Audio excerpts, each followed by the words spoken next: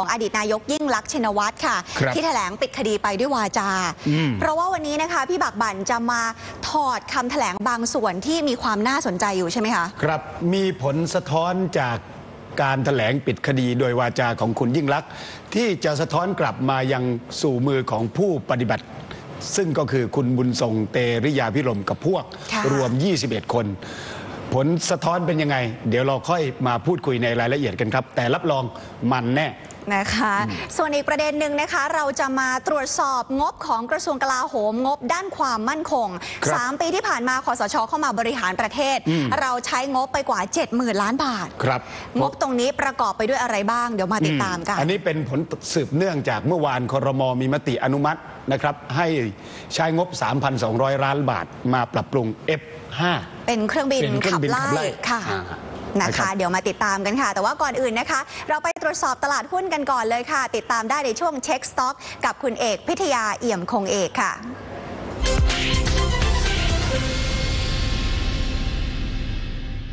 สวัสดีนะครับ เข้ามาดูบรรยากาศตลาดหุ้นนะครับ ผมไม่อยากจะใช้คำว่าทุกอย่างเหมือนเดิมนะครับ ไม่มีอะไรเปลี่ยนแปลง แต่เดือนนี้มีการแย่งซีนจากปัจจัยการเมืองครับ จริง ๆ แล้วปกติเวลาเราพูดถึงปัจจัยการลงทุนเนี่ยเราจะดูผลประกอบการครับเราจะดูฟันโฟ เราจะดูเศรษฐกิจ แต่เดือนนี้มีปัจจัยเรื่องการเมืองมาแย่งซีน แต่ก่อนที่จะไปวิเคราะห์กันว่า เดือนนี้มีอะไรน่าสนใจ เราไปดูบรรยากาศตลาดหุ้นล่าสุดตอนนี้ก่อนครับบรรยากาศตลาดหุ้นล่าสุดตอนนี้จะเห็นว่าคล้ายๆกับเดิมนะครับประมาณบ่ายสี่ของทุกๆวันผมจะมาพูด และทุกคนจะเห็นตัวเลขเดิมครับไม่บวก 3 ก็ลบ 3 หรืออยู่ในโซนนี้วันนี้เช่นเดียวกันครับ1580 นะครับ แล้วบวกไปเพียง 3.96 จุด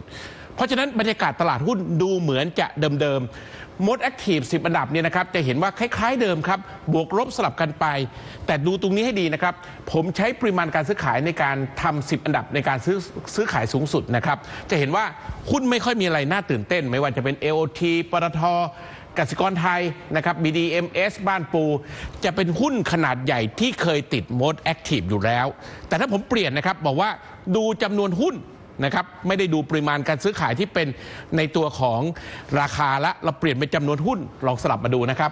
สิ่งที่เราเห็นก็คือพอสลับมาดูบางท่านไม่รู้จักด้วยครับว่าหุ้นพวกนี้ทำธุรกิจอะไรนะครับ จะเห็นว่าใน 10 อันดับที่มีการดูในเรื่องของจำนวนหุ้น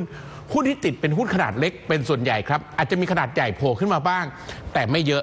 ถามว่าเหตุการณ์แบบนี้เป็นเพราะอะไร เหตุผลง่ายๆเลยครับ สิ่งที่เราเห็นณตอนนี้ก็คือบรรยากาศตลาดหุ้นไทย โดนปกคลุมด้วยปัจจัยที่มันถ่วงกันระหว่างบวกและลบครับ คือไม่มีปัจจัยชี้นำที่ชัดเจนครับ ไม่ว่าจะเป็นบวกหรือไม่ว่าจะเป็นลบ บรรยากาศตลาดหุ้นก็เลยทำให้ผลรวมของเซ็นดินเด็กเมื่อคิดถ่วงน้ำหนักตามมาเก็ตแคปแล้วเนี่ยออกมา balance กันคือไม่เคลื่อนไหวไปไหนไกล และทุกวันเนี่ยนะครับผมเมื่อผมมาดูกราฟเนี่ยนะครับสิ่งที่เราเห็นก็คือว่า ตัวเลขการเคลื่อนไหวของ SET Index แทบจะเป็นตัวแฟลตเลยฮะผมย้อนเวลานะครับในช่วง 1-2 เดือนที่ผ่านมา ตั้งแต่ช่วงประมาณเดือนพฤษภาคม จะเห็นว่ากรอบของ SET Index จะอยู่ที่เดิมครับ แนวรับจะอยู่ที่ประมาณ 1560 กว่าๆครับ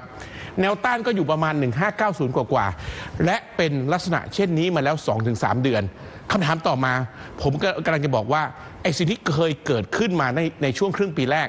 ครึ่งปีหลังจะเป็นอย่างนั้นหรือไม่ แน่นอนครับ สิงหาคมถ้าเราคุยแบบไม่ค่อยฟันธงเราก็บอกว่า ถ้าปัจจัยการเมืองไม่มีอะไร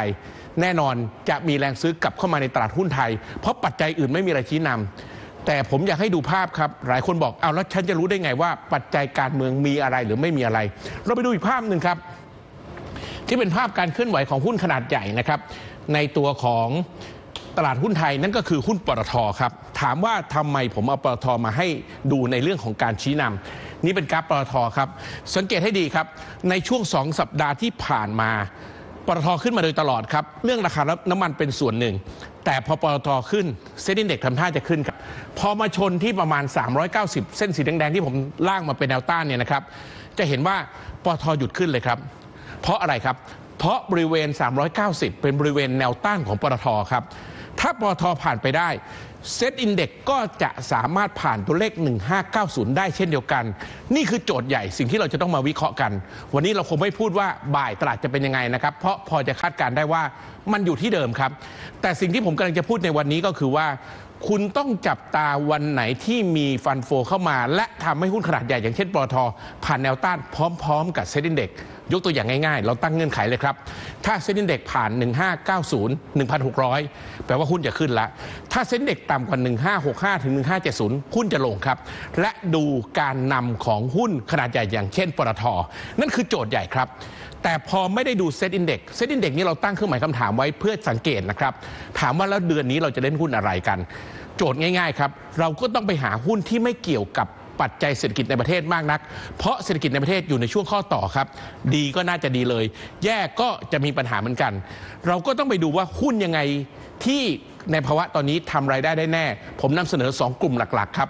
กลุ่มแรกคือหุ้นกลุ่มรับเหมานะครับถามว่าทำไมชอบพูดแต่กลุ่มรับเหมาในช่วงสัปดาห์นี้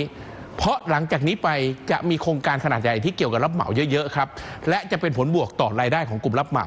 อีกกลุ่มหนึ่งที่อยากจะพูดถึงเหมือนกันก็คือ หุ้นที่เป็นสินค้าโภคภัณฑ์ครับหรือที่เราเรียกว่า commodity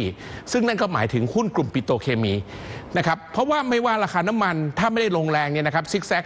ปิโตรเคมีกลุ่มหนึ่งจะมีรายได้ที่ค่อนข้างดีสม่ำเสมอครับ ไม่ต้องไปลุ้นว่านี่เกิดหรือไม่ ไม่ต้องลุ้นในประเทศมีกำลังซื้อหรือไม่ ไม่ต้องลุ้นว่าการเมืองจะเกิดอะไร เพราะพวกนี้ขายตามราคาโลกครับ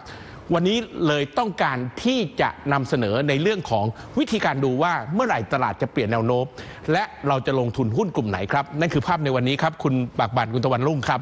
ผมยังอยู่ในหมวดอ่า พลังงานครับนะครับเกิดอะไรขึ้นมากับอินโดรามา IVL ครับวันนี้เห็นข่าวว่าทำ new high รอบใหม่สูงสุดครับในรอบปี เมื่อวานผู้ถือหุ้นรายใหญ่คนหนึ่งก็เป็นผู้บริหารด้วยครับก็พยายามที่จะทำเซอร์ไพรส์บอกว่า warrant ที่เขาใช้สิทธิ์ในการได้มาก่อนหน้านี้เขาใช้สิทธิ์แปลงสภาพครับ ผมขยายความนิดหนึ่งคือโดยปกติ เวลาการแจก warrant ฟรีในเคสอื่นๆเนี่ยนะครับผู้ถือหุ้นรายใหญ่บางทีเขาไม่ใช้สิทธิ์ เพราะการใช้สิทธิ์แปลว่าเขาต้องใช้เงินเพิ่ม แต่ถ้าเขาขายตอนเป็น warrant เลยเขาได้เงินกลับมาครับเพราะฉะนั้นบ่อยครั้งเราจะเห็นครับ สมมติผู้ถือหุ้นรายใหญ่กลุ่มหนึ่งถือหุ้นอยู่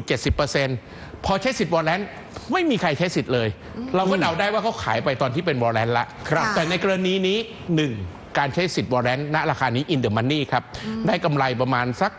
ไม่ถึง 1 บาทดีแต่ว่า 80-90 สตางค์ถ้จิตผมวิทยาดีครับว่าอันที่สองเจ้าของคือใส่เงินเพิ่มค่ะคือเขาบอกว่าหุ้นเขาดีเขาถึงกล้าใส่เงินเพิ่มอ๋ออันนี้คือเหตุผลแรก เดี๋ยวเราครับดูกราฟกันนิดนึงครับค่ะตัวกราฟของ IVL ล่าสุดเนี่ยนะครับกำลังขึ้นไปทดสอบอีกครั้งหนึ่งไฮเดิมอยู่ที่ประมาณสัก 39 บาทกว่านะครับ ตอนนี้อยู่ 37 บาท 50 คนที่ลงทุนในหุ้นตัวนี้ไว้สังเกตไฮ เดิมให้ดีนะครับ แนวต้านจะอยู่ประมาณ 39 บาท 39.50 ครับ ก็เทรนด์ยังเป็นขาขึ้นครับสำหรับ IVL ครับ อืมอีกตัวหนึ่งครับ TOP TOP ไทยออยล์ นะครับไทยออยล์ครับ เห็นบอกว่าช่วงนี้ราคาวิ่งมาก โอ้โห ไทยออยล์ตอนนี้ all time high ครับ ถามว่าค่ะ ไทยออยล์เกิดอะไรขึ้นอ่าหนึ่งค่าการกลั่นโอเค ครับเพราะราคาน้ำมันเนี่ยในระยะหลังเนี่ย มีการแกว่งออกข้าง เพราะแกว่งออกข้างเนี่ยเขาไม่ได้กำไรไม่ได้ขาดทุนแต่ค่าการกลั่นดีสองเขาได้เปรียบในเรื่องอื่น ๆด้วยนะครับไม่ว่าในตัวของ cycle ที่เกิดขึ้นของไทยออยล์ค่ะนะครับเดี๋ยวเรามาดูกราฟกัน ตัวของไทยออยล์นะครับโอ้โหนี่โอ้เห็นไหมนี่ฮะถือว่านิวไฮเลยนะนะออทามไฮครับอ่าตั้งแต่มีไทยออยล์มาราคาที่สูงสุดแล้วครับค่ะโอ้นะครับ เพราะฉะนั้นใครอยู่ตอนนี้ขายราคาไหนก็กำไรครับ เพราะราคาสูงสุด แต่อยากให้ดูทริคในเชิงของเทคนิคนิดหนึ่งนะครับ ดูค่าล่างสุดเนี่ยนะครับถ้ากล้องซูมมาได้นะครับ ตอนนี้ค่าสัญญาณทางเทคนิคที่เราใช้จับในเรื่องของการแพงหรือไม่แพงของหุ้นระยะสั้น มันส่งสัญญาณ overbought แล้วครับ ซึ่งสัญญาณอย่างนี้มันจะส่งสัญญาณว่ารอบนี้ไม่ถึง 3 หลักครับค่ะรอบนี้น่าจะอยู่ในระดับประมาณ 90 บวกลบ และจะมีแรงขายครับ ก่อนตลาดวายครับ TOP ซื้อขาย ถ้าเป็นผม TOP ถือฮะ แต่ว่าวันสองวันนี้ถ้าเกิดทะลุ90บาทขาย IVL ยังไปได้ แต่ไม่จำเป็นต้อง IBL อย่างเดียวนะฮะ ฝากปิโตรเคมีอื่นๆไว้ด้วย อย่าง IRPC ก็ยังไปได้ครับ ครับค่ะขอบคุณพี่เอกค่ะ ครับเอาละค่ะ เดี๋ยวช่วงนี้เราพักกันสักครู่นะคะ ช่วงหน้ามาเปิดกันต่อกับคำแถลงของอดีตนายกยิ่งลักษณ์ชินวัตรค่ะ ติดตามช่วงหน้าค่ะ Grim Power, a world class energy company.